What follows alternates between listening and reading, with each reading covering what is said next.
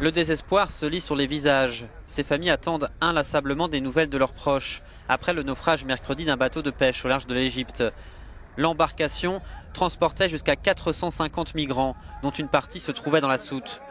Le bilan d'au moins 42 morts risque de s'alourdir. Le bateau vert que vous voyez arriver était chargé de 12 corps. Ils ont été récupérés dans les filets de pêcheurs. Il va repartir avec des familles pour continuer à chercher des victimes. Même les pêcheurs sont volontaires dans les recherches et le sauvetage.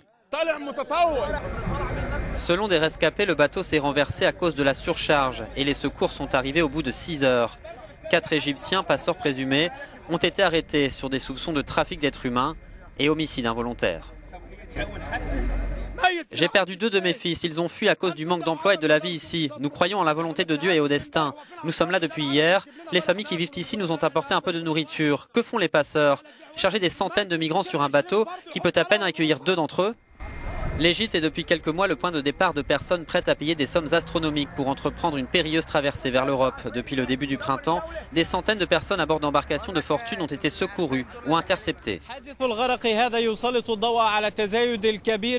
Cet accident met en lumière le nombre grandissant de bateaux qui arrivent en Égypte chargés d'Africains, de Syriens qui fuient la guerre, sans compter les milliers d'Égyptiens qui veulent fuir leur pays pour trouver de meilleurs emplois et une vie meilleure.